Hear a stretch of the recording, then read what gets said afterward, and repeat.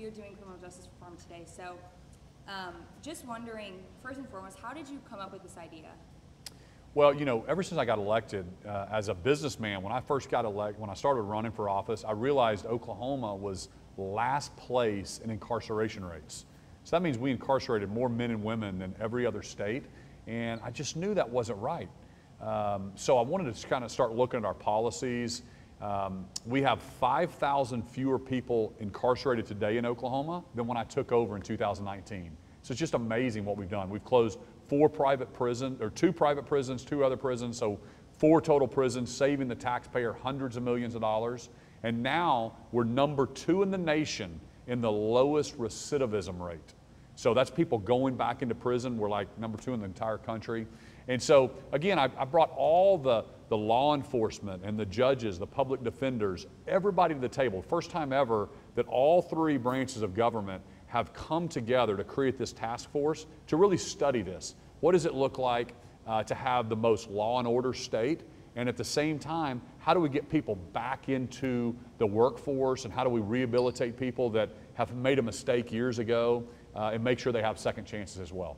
And I'm wondering what are issues? I know it's going to come out in the task force, but what are um, some issues that you think we could get right on right now? Well, I, I think uh, like what is a violent nonviolent crime? How do we make sure that the punishment is fair across every single different county across the state? Like, what is the, sometimes, you know, there's such a wide range of punishments. It could be 30 years or it could be two years. Well, for most of us, that's kind of weird. If it's the same crime, shouldn't it, if it's worth five years, let's make sure they spend five years in prison. If it's a 10 year crime, let's make sure they spend 10 years. But don't give somebody 30 years and give somebody six months. Uh, that seems kind of weird. So we want to we want to kind of bring those ranges down a little bit. Um, we also want to talk about mental health and what's happening with the homeless. Um, how do we make sure that we're number one in the country in recidivism? How do we make sure that uh, we're at least, let's move to 25th in incarceration rates. That means we'll, we'll save the taxpayers more money and we'll get more people into the workforce and we'll make sure that we have fewer kids in DHS custody. So all this stuff works together and I'm just trying to get the thought leaders across everybody that touches the criminal justice system to come together to kind of think about what is possible, what does the next 20 years in Oklahoma look like? Kind of going off that a little bit, my, it's my understanding that there's DAs, sheriffs, but then there's also um, mental health advocates, substance abuse advocates, victim advocates as well. So you kind of have a full range of people that you're looking for on this. Can you kind of tell me about balancing the different perspectives of criminal justice? Sure. Uh, you know, when I first came into office, sometimes, um, you know, not to be critical of, of, of the previous stuff, but uh, it, it was almost just too heavy on law enforcement and what was good for law enforcement. And so we have to be a law and order state.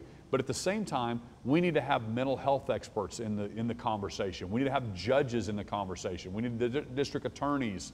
Uh, we need to have the public defenders. We need to have all those folks at the table talking about how do we move our state forward. And so I think that's why I, I have such a full list of people on this executive order to try to come together to come up with the best solution uh, for Oklahomans. Not one group uh, has all the answers, and we need to um, you know, invite conversations and some dissenting viewpoints.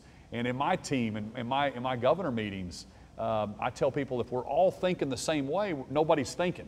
Uh, so we've got to have all these different points of view, and that's the great thing about Oklahoma. And, and when I can facilitate and bring more groups together, uh, that's my job as governor is get everybody kind of thinking about how do we solve this problem for, for the taxpayer and also for public safety, and how do we solve this for folks that maybe have an addiction problem as well.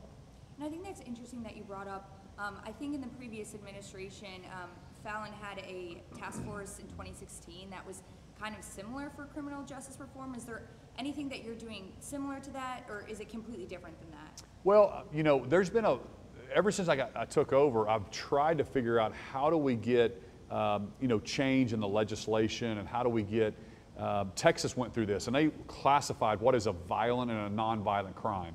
And so I've been trying to get some of this across the finish line, but it's hard. Change is hard.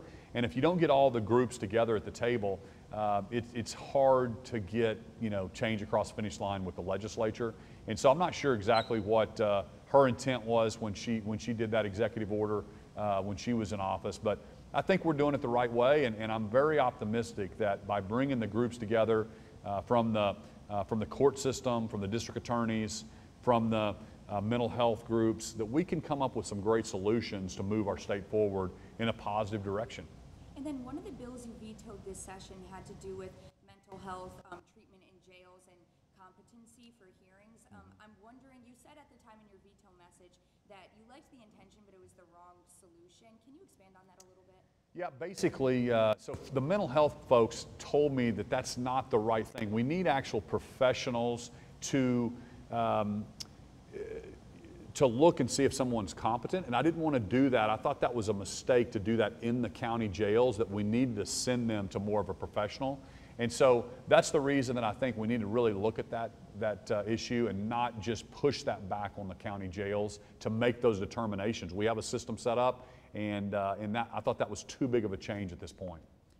The process of this, so all these people will come together, right?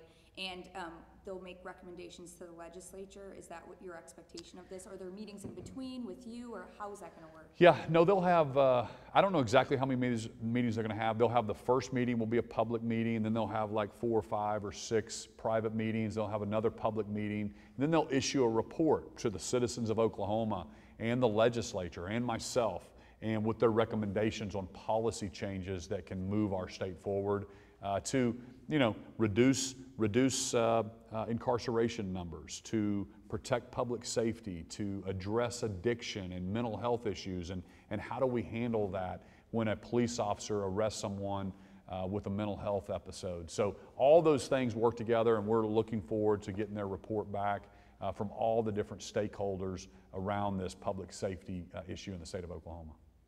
Last question for you. One goal from this. If there's one thing that comes out of this um, task force, what what would it be? You know, it's, uh, it's always, to me, it's always, it's kind of two things. It's safer communities and, you know, safer communities and then protecting the taxpayers and giving people second chances. So all three of those things kind of work together. And I think they're in that order. You always, we all want the same thing. We all want make sure we have safe communities, number one, and we're going to do that in Oklahoma. But at the same time, I don't think we have to be 47th in the country in incarceration rates uh, to have the safest communities. We have some addiction, we have some, some programs that we've started since I've been in office. One of them is called the Sarah Stitt Act, and it's actually bringing services behind the wire before people get released to give them a driver's license and the ability to go get a job or get further their education uh, before they even actually get released from prison. So uh, all those, uh, uh, those diversion programs are, I think, are important conversation as well. Perfect. Anything that I missed that you would like to add, or We're- you're like, oh, she should have asked me this? No, I'm good. Thank you. Okay,